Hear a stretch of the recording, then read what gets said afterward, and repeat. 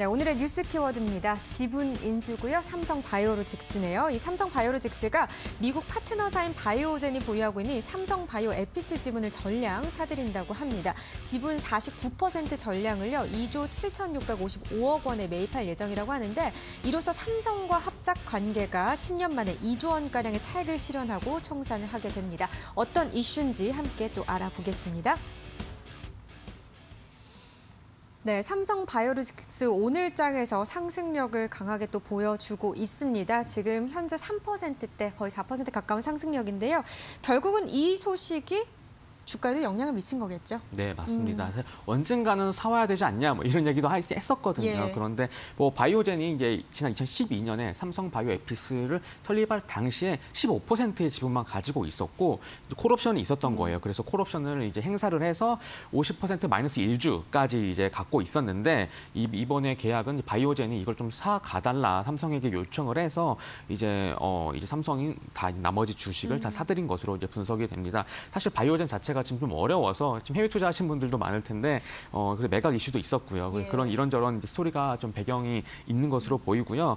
어, 1차 대금이 10억 달러인데 이게 납부가 완료된 시점부터 이제 계약의 효력이 음. 이제 시작된다고 합니다. 그래서 예. 향후 2년간 분할 납부할 예정이고 그러면은 투자자분들은 아까 파트너십이 끝나는 것인가 사실 이게 바이오젠의 그렇죠. 도움을 받은 부분이 있었거든요. 그런 부분들이 있는데 어, 이제 삼성 바이오 에피스의 바이오 시밀러 제품을 유럽 시장에 판매하는 게 이제 바이오젠이었는데 음. 이번에 뭐 지분 관계는 정리가 되지만 이 마케팅 파트너십은 계속 이, 계속 가, 갈 것이다. 관계는 예. 이어가기로 그렇게 결정을 했습니다. 그래서 마케팅을 하면 뭐 특정 조건을 이제 만족을 하면은 음. 뭐 이제 바이오젠 쪽으로 또 이제 어느 정도 돈이 가는 그러면서 약간 위인 구조를 만든 것으로 그렇게 분석이 됩니다. 네, 뭐 사실 무근이긴 했지만 말씀하신 것처럼 삼성이 바이오젠을 인수한다 뭐 이런 얘기도 네네. 나오기도 했었는데 결국 삼성 바이오로직스가 에피스의 지분 100%를 갖게 됐을 때 어떠한 기대 효과가 있냐 이게 중점일 것 같아요. 네, 맞습니다. 어떤 부분인가요? 있을까요? 네, 이제 삼성이 지금 뭐 거의 CDMO는 최강자로 이미 자리를 예. 섰잖아요. 그래서 이제 중요한 것은 이제 신약 개발하거나 음. 이런 것들이 좀 이제 부족한 부분인데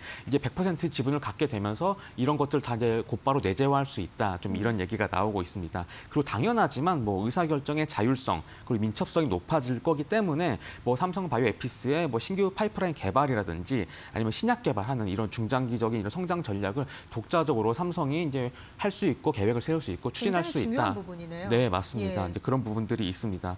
삼성바이오 로직스는 뭐 에피스 지분 매입 그리고 사업 확장에 필요한 투자도 지금 많이 준비가 되어 있거든요. 그래서 이번에 동시에 3조 원 규모의 유증을 하겠다고도 밝혔고요. 지금 뭐 에피스 지분 인수한 건 말씀드린 거고 이제 음. 투자는 뭐 사실 이제 공장을 계속 증설을 하고 있어요. 그래서 세계 최대 규모의 이제 바이오 의약품 공장이 사공장 예. 지금 이제 건설 중이고 또 인도 인천 송도의 11공구 지역에 음. 현재 사용 부지보다 규모가 더 큰 35만 제곱미터의 그런 부지의 제2 캠퍼스도 이제 추진한다고 하니까 앞으로 굉장히 또 이제 매출 외형 성장이 기대된다. 좀 이렇게 이렇게 분석할 수 있습니다.